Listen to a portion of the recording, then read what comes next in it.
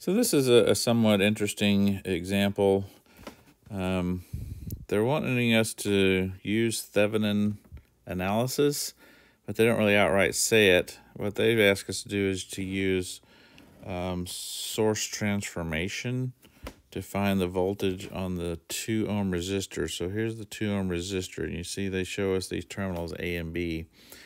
So what they're really wanting us to do is to use source transformation to find the Thevenin equivalent between A and B, and then come back and use 2 ohms as the load resistor uh, to determine um, what the voltage on that resistor is. So let's look at how this works. So we're going to use source transformation. So we're going to look at this a couple of different ways. So first part is this part here. So we can do a source transformation of that instead of having a voltage source in series with the resistor. Uh, we can transform that and let's try to do this uh, as neatly as we can here. So now we will have a current source here. And remember, we take the voltage divided by the resistance. So that's going to be uh, 10 over 4 for the current. And then we put that in parallel with this uh, same resistor, which is 4 ohms. So there's that part. So then we come back and we look at this leg here. And so we can now do the same thing. Uh, this time we will have a current source here. This time it's going to be down because the positive side is down. And so that'll be 20 divided by 4. Again, we'll put that in series with the 4 ohm resistor. And then we come over here and we see we have our original terminals, A and B. We'll leave the load resistor out for now. And then we come across again, and this one, this time there's no, no transformation needed. We just have our current source of 2 amps going up Oh, excuse me.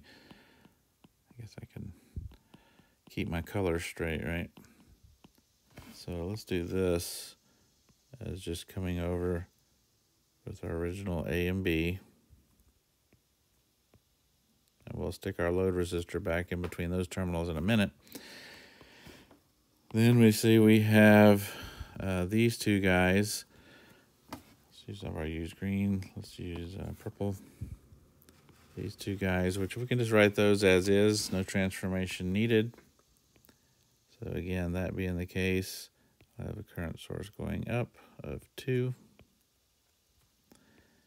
And then coming down here, a resistance of 6. And then finally, we've got the this leg here in blue. And so we can transform that again. It's going to be another current source. And it'll be going up because the plus sign is up. It'll be 12 over 3, which will be 4. And again, that's going to be in parallel with this 3 ohm resistor. So now uh, we have just a, a parallel network of current sources and resistances. And so we can combine all those. So for the current sources, um, we'll just get us a, an I total, we'll call it. And so that's just going to be summing up all of the current sources. And so to do that, um, the first one is we have the one in green, which is 10 over 4. So we're, we're defining going into the top node or into the top here as positive. And so next we have our uh, 20 over 4. It's coming out of that, so it'll be minus 20 over 4. And then we have our 2, which is entering our node, so it'll be plus 2. And then we have our 4, which again is entering the node, so it's plus 4.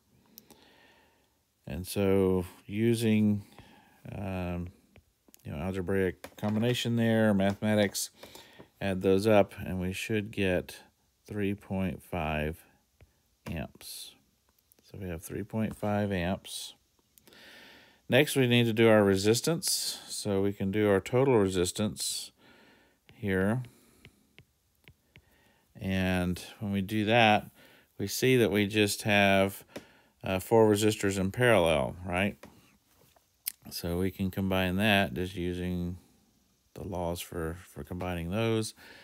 And so that'll be 1 over 4. And then plus 1 over 4. And then that's plus 1 over 6. And again, the colors are corresponding to the resistors up above. And then be plus 1 over 3. And incidentally, when we add this up, we get 1 over 1. And so this is going to be 1 ohm. So now we can redraw our circuit here. And so we'll have a, a single current source. And it's going to be going up because it's positive in our equation. And so this is 3.5 amps.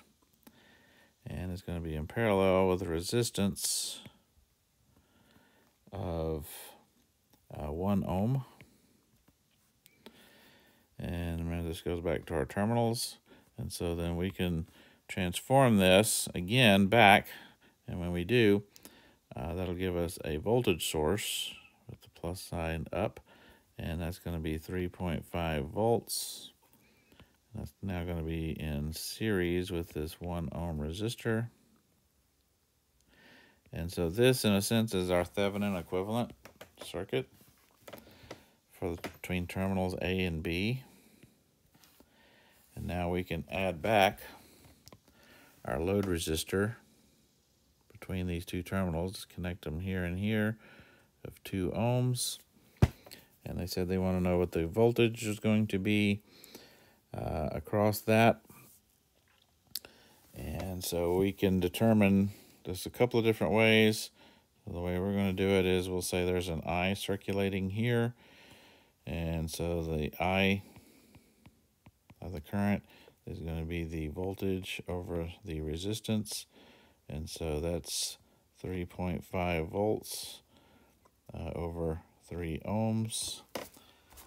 And so when you calculate that out, um, what you should get is one and a sixth. And so then our voltage across the 2 ohm resistor, again, Ohm's law, IR, so that'll be 1 and one sixth times 2 for the 2 ohms and that comes out to be two and a third volts. Two and a third volts, or you might say seven third volts, same thing. So that's the voltage across uh, the 2 ohm resistor, again using the Thevenin equivalent that we derived uh, using source transformation.